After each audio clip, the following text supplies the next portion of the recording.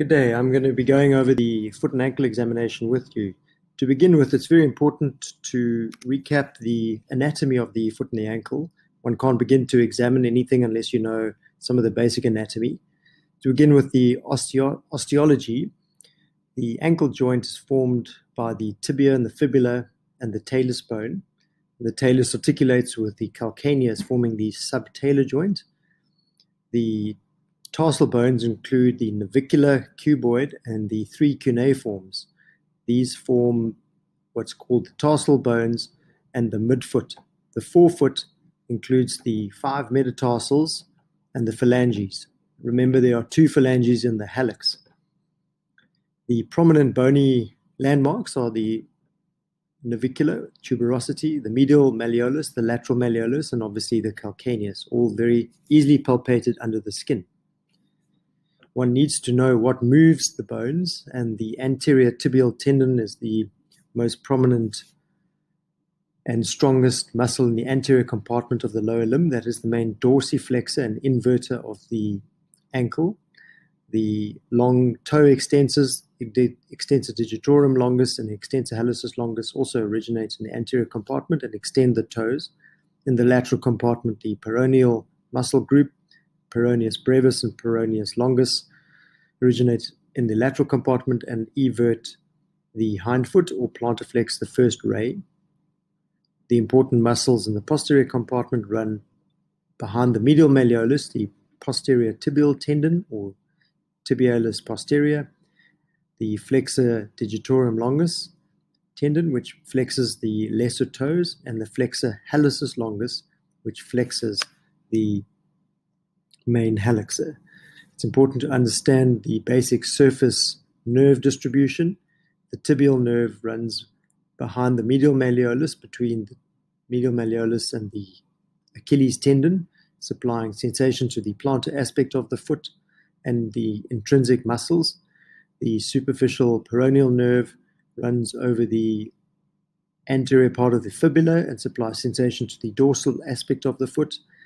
The deep peroneal nerve, a continuation of the peroneal nerve, supplies sensation to the medial um, first web space, and the sural nerve sensation to the lateral border of the foot. The saphenous nerve supplies sensation to the medial arch of the foot and the medial malleolus. Remember, this is a continuation of the femoral nerve and not the sciatic nerve.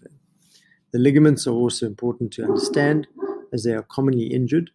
The anterior talofibular ligament is the main stabilizer of the ankle joint and commonly sprained. The calcaneofibular ligament, which runs from the tip of the um, lateral malleolus to the calcaneus, is another main stabilizer and resists inversion. The syndesmosis is compiled comprised of three ligaments the anterior inferior talofibular, uh, anterior inferior tibia tibiofibular ligament, and the interosseous ligament, and the posterior tibiofibular ligament. The medial stability is obtained with the deltoid ligament. So, to begin with our examination and our pre flight check, it's important to meet and greet the patient, make sure you know their name. Expose the patient, you must be able to see all the way from the foot to above the knee, at least the mid thigh region. Look for any walking aids, crutches, walking sticks, etc. It's important to assess their shoes and look for orthotics and splints. Wear on the outside of the shoe may indicate that they have a malalignment or wear excessive wear on the inside of the shoe, the opposite malalignment with a flat foot. The next part of the foot examination is to assess the gait. Remember that the gait cycle is broken down into two phases the stance phase and the swing phase. The stance phase being when the foot is on the ground, and the swing phase when the foot swings. Look for any abnormal thrusting, look for antalgic gait where the patient spends less time on their foot during the stance phase.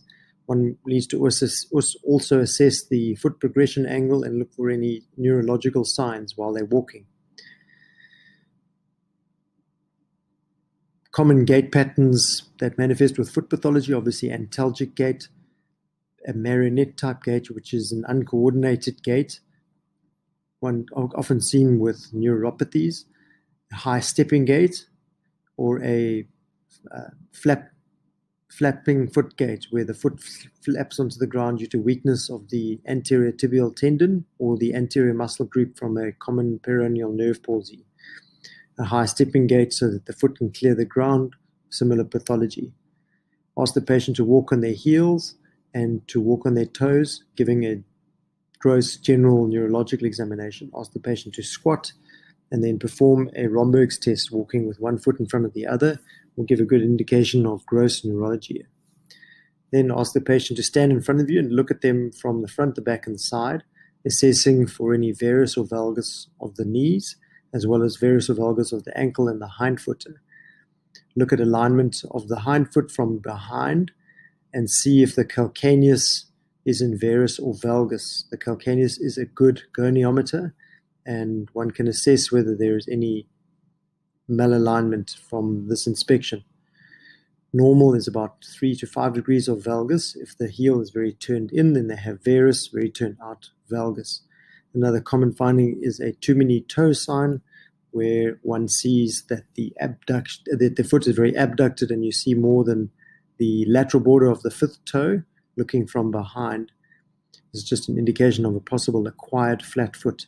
Look for the shape of the foot, Either they have a very high arched foot, being a cavus foot, or a very flat foot, being a pes planus type foot. Then the next part of the examination is to get the patient to sit down in front of you. The best is having them sit on the bed and you sit down on a chair just below them so that the foot and the ankle is just below eye level. Look for any scars, look at the skin, look for any swellings. One wants to reassess the arch of the foot at this stage and look for any abnormal abduction, supination or pronation of the foot. Look carefully at the nails for obvious fungal infections, etc., and look for any muscle wasting. It's important at this stage not to forget the plantar aspect of the foot. There are many pathologies that are often missed. Look for any corns, calluses, and lesser toe deformities. Now, time to get your hands on the patient, and the first thing to do is to feel the pulses Remember, a lot of patients with foot problems have vascular issues, either from diabetes or peripheral vascular disease. Check the sensation grossly, fine touch, and then proprioception. Screen any tender areas and palpate systematically over the ankle joint, the medial and lateral gutters, feel the syndesmosis, the posterior joint line, and don't forget to feel posterior and the Achilles tendon Achilles tendon injuries are often, often missed. Over the lateral side of the ankle, feel the dome of the talus. Sometimes there are osteochondral lesions palpable with tenderness there. Feel the sinus tarsi, the gap between the tibia and the fibula, just anterior to the fibula. Palpate the peroneal tubercle, which is a prominence on the lateral wall of, wall of the calcaneus. Palpate the cuboid, the base of the fifth metatarsal and the peroneal tendon complex. Along the medial side, the medial malleolus, an easy landmark to feel, the head of the talus, the sustentaculum, which is the prominence of the calcaneus on the medial side, palpate the tarsal tunnel, which is halfway between the medial malleolus and the insertion of the Achilles tendon, and then palpate the medial navicular, navicular tubercle, which is easily palpable and sometimes tender in some patients. Feel along the medial metatarsal cuneiform joint for arthritis. Then, one, once the forefoot, once the midfoot has been palpated, palpate the forefoot, looking specifically at each metatarsal, assessing for stress fractures, deformity, etc. See if there is increased mobility through the first ray. Another common pathology is a Morton's neuroma, a pinched nerve between usually the third and fourth metatarsal heads. Perform a click test if there is decreased sensation in the third web space. This is done by palpating the web space and then squeezing the metatarsals together. Have a look at the metatarsal heads on the plantar aspect. Palpate the distal and proximal interphalangeal joints, assessing if they are rigid or fixed deformities, if there are any. Look in between the toes at the web spaces for obvious infections or signs of pain or interdigital digital corns. Time to get the patient moving. Always begin with active range of motion and then follow with passive range. Ask the patient to actively dorsiflex and plantarflex the ankle. Normal is 55 degrees of plantarflexion and 15 to 20 degrees of dorsiflexion. The subtalar joint is responsible for inversion and eversion. Inversion being turning the, the calcaneus in. The main driver of this is the posterior tibial tendon, and the eversion turning the, the calcaneus out. The main driver of that is the peroneal muscle group. Normal is 5 degrees eversion, 10 degrees inversion, and then patient to turn the toes in, turn the toes out. There's very little more dexterity in the toes that can be tested. Now, important to test muscle power and tension. The posterior tibial tendon, it's important to palpate the tendon while performing this test. Get the patient to plantarflex the foot properly and then invert the foot, and then ask them to hold this while you try and abduct and turn the foot outwards. This while palpating the posterior tibial tendon and feel for pain or weakness compared to the other side. The, the anterior tibial tendon is the main dorsiflexor of the ankle. Perform a resisted dorsiflexion of the ankle and palpate the tendon. There are sometimes ruptures of this tendon or weakness of the muscle group in the anterior compartment. Palpate the peroneal muscle group and ask the patient to evert or turn the heel outwards while palpating these tendons. There may be tears or tendonitis easily palpable. Remember to test the long flexors of the toes and get the patient to curl their toes. There are some special tests. One is the test. One the, is the test for anterior ankle instability. The and remember the anterior talofibular ligament is the main ankle stabilizer. This is tested using performing the drawer test, as you can see in this video. Grab the tibia with one hand, hold the neck of the talus and the calcaneus with the other, and pull the ankle forward with the ankle in about 30 degrees of plantar flexion. Then perform the talus tilt test with the ankle in neutral, turning the heel into varus or inversion, assessing for any increased instability or increased tilt of the talus compared to the other side. Another commonly missed injury is the is the Achilles tendon injury or an Achilles tendon rupture.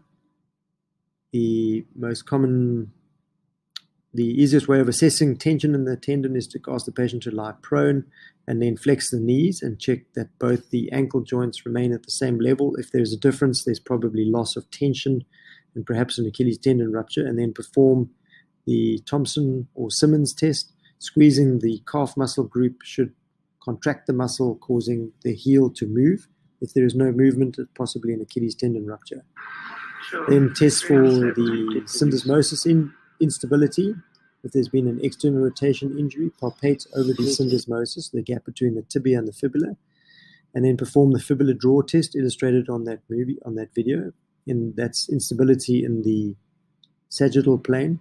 Perform an external rotation test, holding the foot with one hand and the tibia with the other, and externally rotating the ankle.